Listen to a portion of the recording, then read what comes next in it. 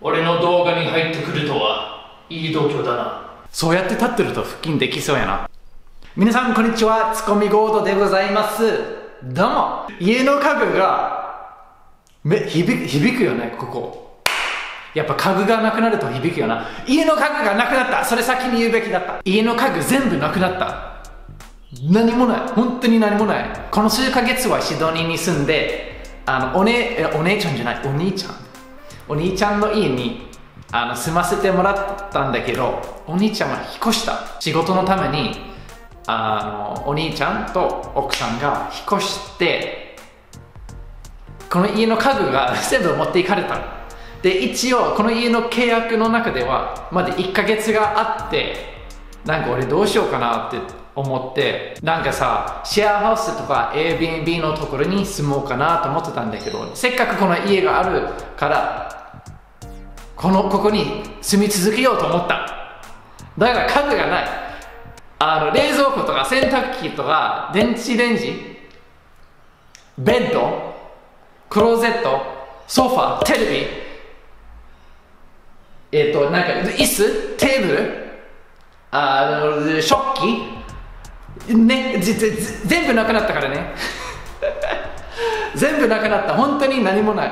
でなんかどうしようと思ってなんか冷蔵庫とかなんか料理できないしさ寝るとこないしやっぱり幸せに住んだ方がいいかなと思ったんだけどあの頑張って5000以下4000以下結構安くめっちゃ安くここここで住んでいくための最低限のもの揃えました。結構安く揃えました。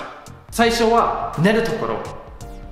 で寝るとこがなくてそのこのあのこの床硬いしさあの体痛くなりそうだし一応お兄ちゃんにあの枕と毛布を置いてってもらった。で最初からそれがあってでスタジオからマット借りてきた。昔ずっと使ってたスタジオがあって今でもなんか1ヶ月間だけ部屋借りてるんでそんなその部屋の中にマットがあってそれこっそりとこっちに持ってきてまあもともと俺のマットであの、ね、スタジオの人にあげたんだけどそれこっそりこの家に持ってきてで7ドルぐらいにヨガマット買ってその絨毯の上にヨガマットを乗せてでその上で寝てる。それで全然寝れる俺なんかそのふかふかのベッドそんなにいらないしなんか十分あの足りるし朝起きたら体痛くないし絨毯とヨガマットで全然いける問題なかった。そしてその次椅子はキャンプ用の畳む椅子買ってあれいくらだった？K マートで10ドルぐらいで買ってそして変な形の机もあのスタジオから盗んできた。なんか俺の部屋にあったから別に使っていいんじゃないかと思って持ってきた。だから机と絨毯はお金かからなかった。寝るところがあって座るところがあってその次は何でしょう？服。服どうやって洗濯する？洗濯機もなくなったからね。一応なんか乾燥機まだあるけど乾燥させるだけできれいにはならないんだよな。コインランドリー？ランドリー？ランダリー？ランドリー。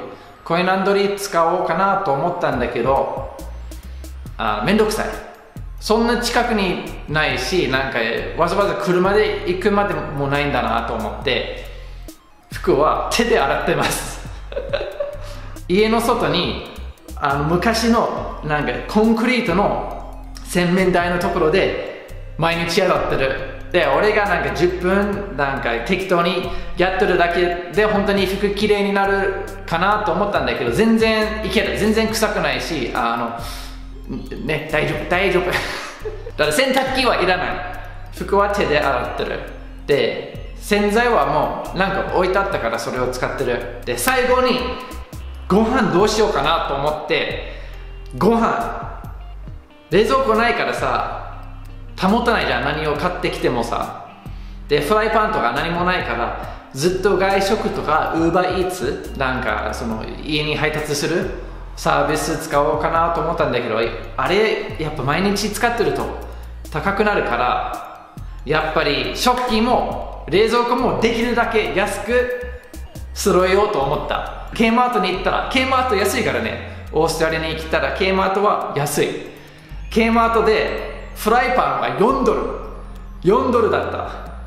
4ドルでお皿は75セント。でナイフとフォークは全部で4ドルとか。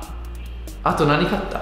マグカップは2ドル。そしてスパスパチュラ。あれあれいうやつは2ドルだった。あれだけでもうフライパンがあるだけで十分に料理できるしあのオーブンはまだ置いてあるからオーブンも使えるしだからこの数日間は全然料理できてる。一番問題のは冷蔵庫。冷蔵庫どうしようと思って車も持っていかれたんだけど今車借りてる。あの車車一番高いよ。毎日25ドルぐらいでずっと車借りてる。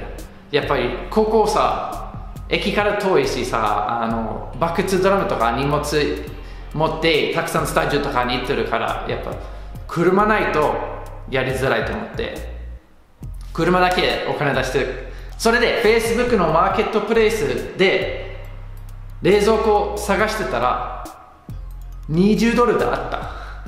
20ドルで小さいやつが見つかってしかもこっからなんか車で10分ぐらいのところでその日すぐになんか取りに行けて冷蔵庫が手に入った。でこれで問題なく生活してる。全然足りてるここ。全然いい。これ以上はいらない。で服手で洗うっていうのはそこまであの不便じゃないし庭にじゃがいもが浮いてるみたいでそのね食材も 手に入る。お腹空いてる時にあのね土を掘って じゃがいもを食べればいい。お腹すいた。お腹すいた。だから全部で、まあ、椅子10ドル。ヨガマット7ドル。まあほぼ5000かからないぐらいに必要なもの全部揃えた。でもちろんシャワーとかもあるし一応 Airbnb に泊まってたら1泊5000円ぐらいするからね。とかシェアハウスとか全然1泊あ3000円とかするから。車ずっと借りてもな多分ここに住んでた方がまだ安いと思って。そしてシェアハウスとか Airbnb よりこの家広くて暴れられるしあのここ毎朝なんかその筋トレとかなんかヨガのルームとして使ってるし悪くない。まあ今日の動画はこんな感じで皆さんまたね